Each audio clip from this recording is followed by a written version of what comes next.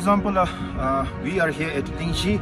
Today is our third day of a trek and we will be heading towards Chebisa. So it's going to take about uh, two to three hours at the max and the altitude right now is about 4,100 meters above sea level. The weather today favored us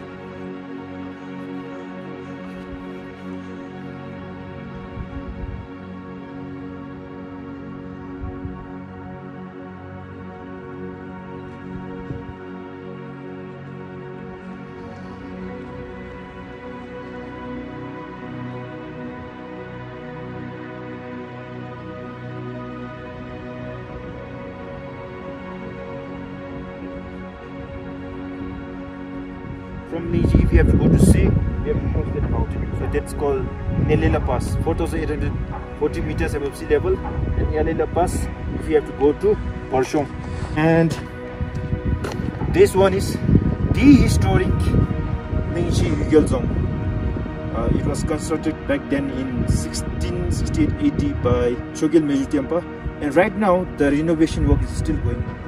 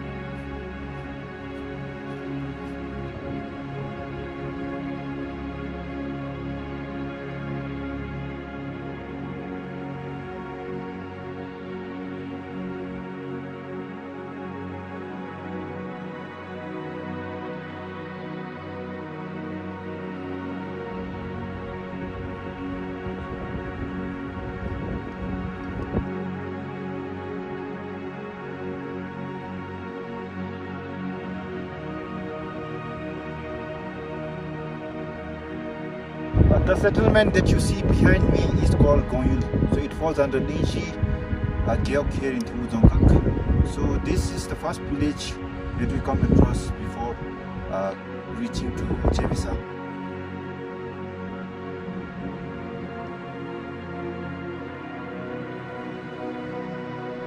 Gon-Yul village. It falls under Lingshi Gewog and it's about two hours hike from Lingshi Gewog center. So the hiking trail and the time is not that uh, tough.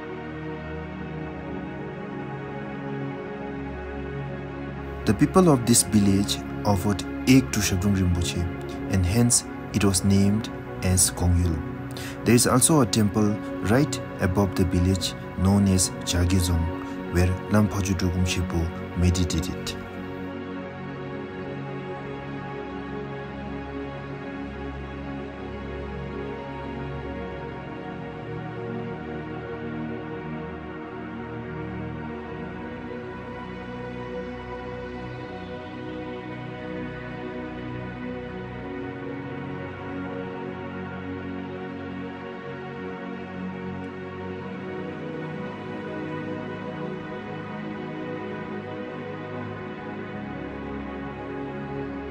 This is Chebisa under Lingshi Gewog and our destination for the day. In 17th century, when Zhabdrung Rinpoche visited this place, the people offered Yaktam and so on, the place was named as Chebisa.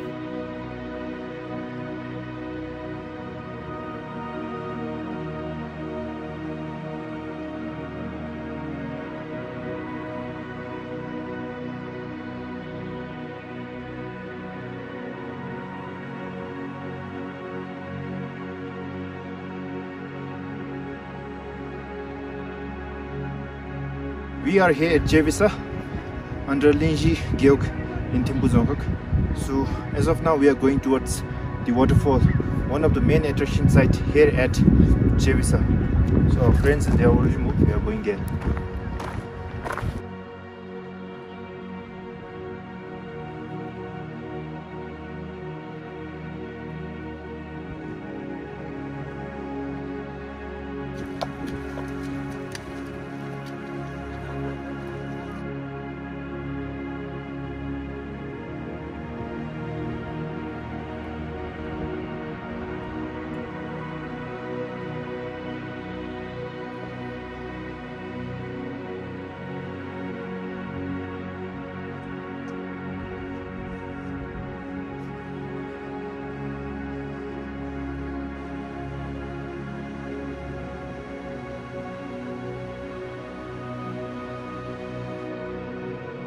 Today, the hike from Lingshi to Chebisa through Gon-Yul village was only 3 hours.